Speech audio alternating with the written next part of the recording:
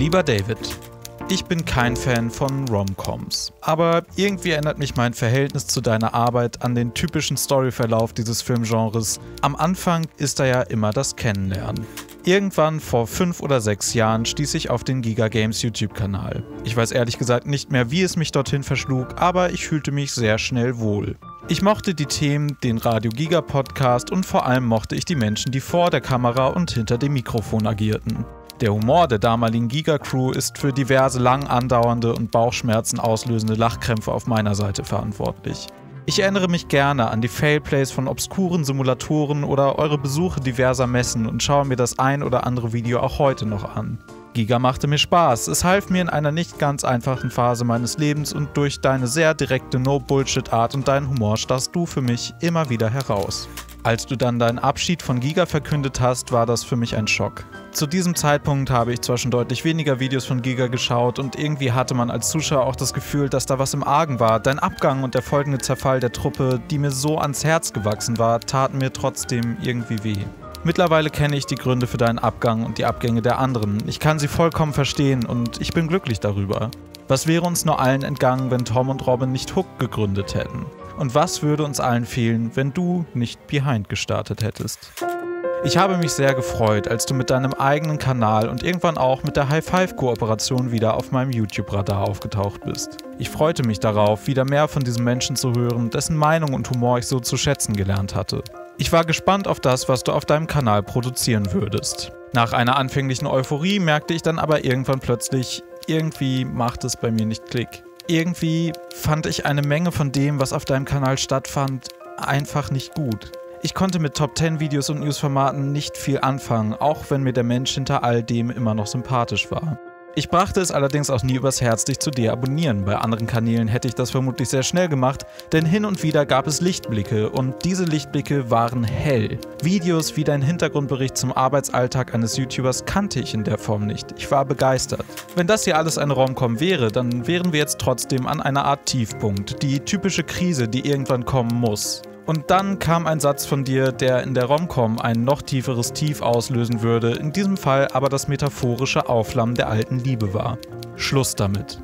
Es war Mitte 2015 und der Titel ließ Böses erahnen. Das Video dahinter war aber genau der Grund dafür, dass ich wieder anfing, regelmäßiger deine Videos zu gucken. Selbstreflektiert und selbstkritisch hast du in dem Video offengelegt, was dich an deinem eigenen Kanal stört und was du in Zukunft für Videos veröffentlichen willst. Es schien so, als hättest du dich auf gewisse Weise selbst wiedergefunden.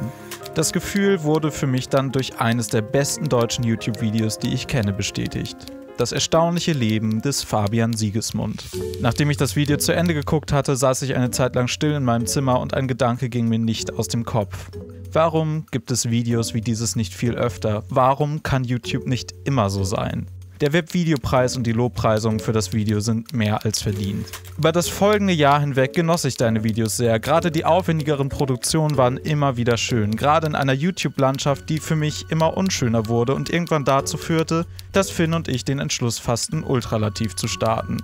Wir hatten fast ein halbes Jahr lang an Konzepten gearbeitet, überlegt, wie wir unseren Frust auf unsere eigene Weise zum Ausdruck bringen könnten und waren kurz davor, unser erstes Video zu veröffentlichen, als du in YouTube Deutschland ein Erdbeben ausgelöst hast.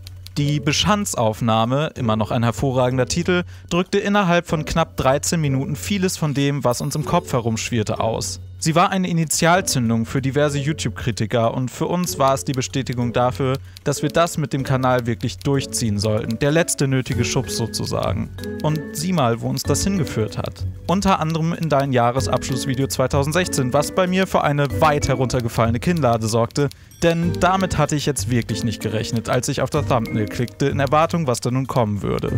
Es war sowohl für mich als auch für Finn eine riesige Ehre, ein solches Lob von dir zu bekommen. Dass wir dich gut zwei Monate später dann auch noch persönlich kennenlernen durften, war ehrlich gesagt surreal, aber eine durch und durch angenehme Erfahrung.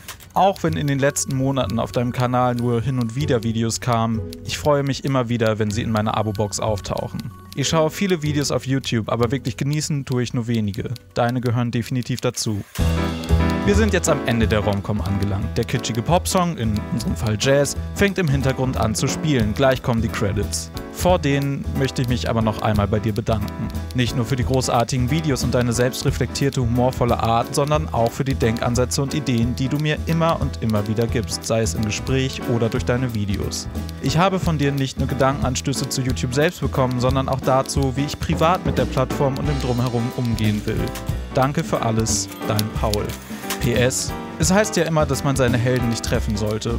Bei mir hat das bis jetzt eigentlich ziemlich gut geklappt, vor allem wenn mir einer dieser Helden vollkommen unerwartet an irgendeinem deutschen Bahnhof plötzlich von hinten auf die Schulter tippt.